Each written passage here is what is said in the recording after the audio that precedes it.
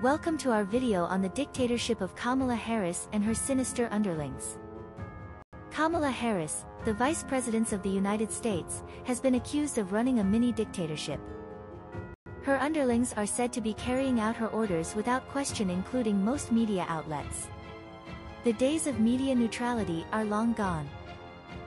Some believe that Harris is using her power to manipulate and control the Democratic government by how she was chosen by the elite and not the people how they voted for Joe Robinette Biden. Harris has been accused of silencing dissent and opposition and using media outlets and search engine results to erase history of her bad record for fake favorable results. Her underlings are said to be enforcing strict rules and regulations against their own peers. Critics argue that Harris is abusing her power for personal gain and influence from Obama's backers. Some fear that Harris is leading the country down a dangerous path due to horrible record on immigration alone. The dictatorship of Kamala Harris has sparked controversy and debate. Because, she was selected and not elected. Her underlings are rumored to be carrying out sinister deeds in the name of their leader. Money laundering through the Act Blue Democratic machine. There are videos proving suspicious donations are coming from ghost donors. The people are divided on whether Harris will be a benevolent leader or a tyrant. So far, it is not looking in her favor.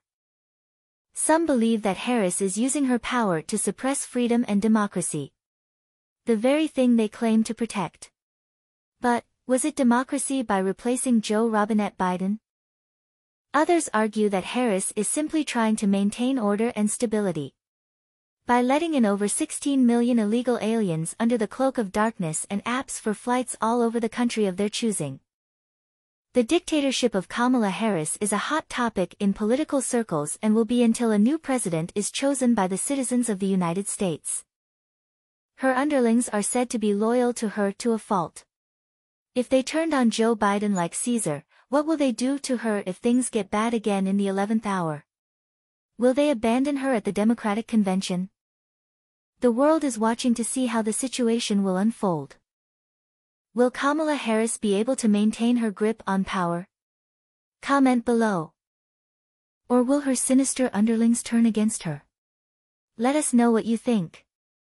Only time will tell the fate of the dictatorship of Kamala Harris and her sinister underlings. Thank you for watching our video. Stay tuned for more updates on this developing story. Don't forget to subscribe, like and share. Thank you for your valuable time. See you soon.